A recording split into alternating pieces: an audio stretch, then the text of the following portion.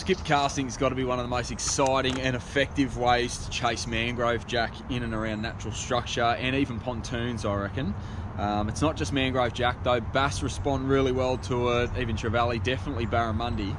In this video, what I want to do is take you through some of the different jig heads that you can use that are going to help you either get better skips, so get it further and deeper underneath cover, or just help you get it get started and um, maybe just a couple of different options for different applications.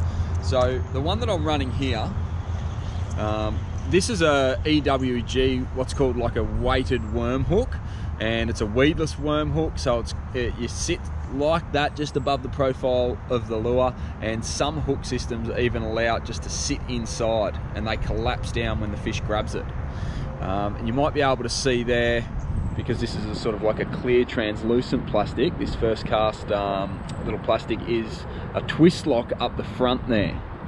And that allows you just to twist the plastic on. I'll see if I've got another one here I can show you. Here's some. That allows you to twist the plastic on and it just keeps it in place.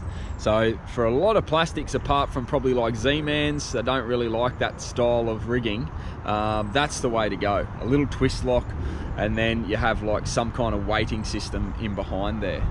And these worm hooks, um, Stuart Wilson makes these for me, um, but there's a lot of other options that you can get uh, out of Savage Gear Manic Shrimp, for example, or uh, Rapala um, have VMC hooks which do it as well, and Gamakatsu make them. There's a whole host of these hooks, but the way that you want to rig these things is primarily weedless. And, and the reason for that is because you're skipping in underneath all of this cover, up into caves and things like that. And you don't want to be getting snagged deep, deep in the cover. So one of the other options is uh, these snake locks heads with a Z-Man attached and you can run those and skip those pretty well. They're not the best, but you can still do it. Uh, but if you're just getting started, I'd suggest you probably go with something else.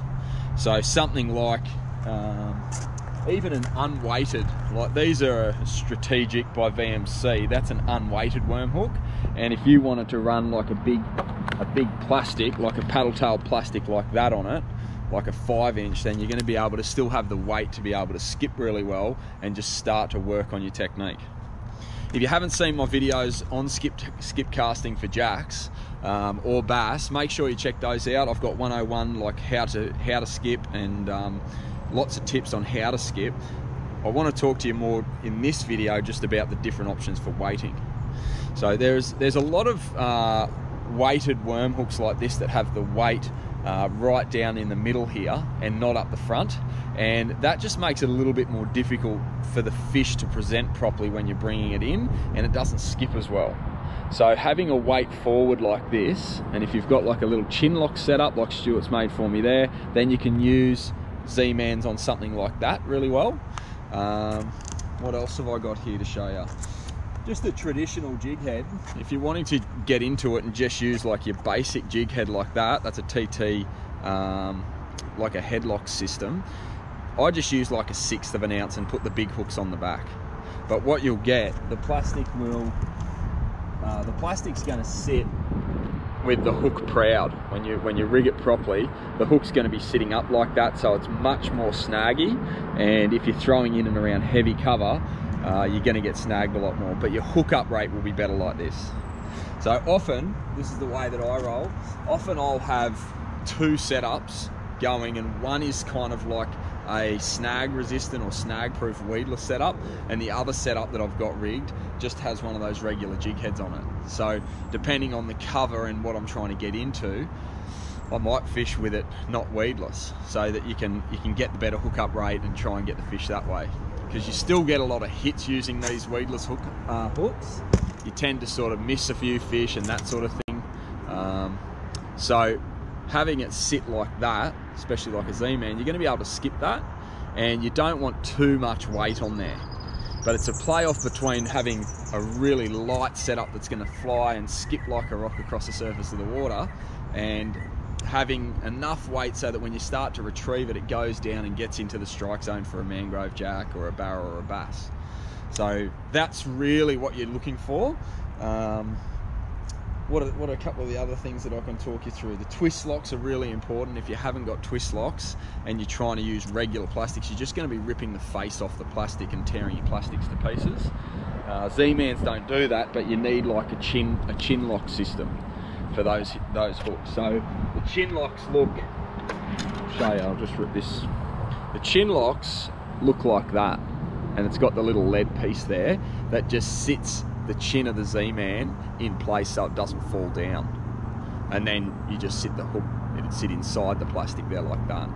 But with the snake lock set up like that, unless you're really versed with your skipping, you're going to find that a little bit difficult. Um, so that's really what you want. The, the options to start with, if you're really trying to improve your skipping, my suggestion is have a look at some of my past videos, firstly on how to do it, but start with bigger plastics what have I got? I'll show you. Like these by first cast, that's like a potty mullet, and there's an, there's enough weight in that, and it's a big enough profile on the side of the plastic to be able to fly and skip in. So things like that. Just be careful when you're rigging stuff like this because it's got a, a fairly chunky body profile to it. If if you're rigging it and the hook is kind of like not pulling the plastic back, then they'll start to roll a bit and that action isn't as good. It's good for a barra but not as good for a jack. So you kind of want your see if I can show you with one of these. You kind of want your plastic. About to run in under a bush you kind of want your plastic not really able to bend there too much like that. So when you rig it and you and you're pushing that hook through you try and get get it straight like that. And then without tearing the plastic you want to sort of sit it back like that so it's pulled tight. And that'll give it a way better skipping action uh, when you're casting and it'll give it a better action when it's swimming back. It'll it'll stay truer on the way back um, the weights on here are like either a sixth or an eighth um, of an ounce and now that I've got my game going and I'm trying to get down into the strike zone a bit more I tend to go for like a quarter ounce on that EWG that weight there so hopefully that clears a couple of things up for you. Um, they're, they're, hard to find, some of these hooks sometimes. Like I said, I get them out of the Manic Shrimp um, by Savage Gear. Um, and VMC do them as well. Who else does them? Gamakatsu. Um, but yeah, you can find them. They're EWG worm hooks, weighted worm hooks, and they cost a little bit, but um, they're the way to go for your skipping if you're trying to get in undercover and you can get in into caves, overhangs, into crazy heavy brush like I'm fishing here. And uh, by God, if you haven't done it or you're, you're looking to get into it, it's an it's an incredible way to go and chase fish. They're super aggressive because they, they don't see lures in there very often, and um, getting them out's a whole different story. So hopefully that's that helps you. If you've got some ideas or some questions, just chuck them in the comments, and um, I'll either get back to you or I'll create a video on it just to sort of clear up some of the questions on the skip casting. I know there's a lot of people who've got some interest around it because it's so effective, and it's a real challenge. It's just something different to try, um, and it's a lot of fun. So yeah, hopefully you're getting some value out of these videos. I'll, uh, I'll keep putting them together, so keep asking questions and um, if there's things you don't know, I'll, uh, I'll keep basing a lot of these videos on uh, helping to sharpen up some of your casting and skip casting game to hopefully help you get onto a few more fish. Alright, I'll see you in the next video.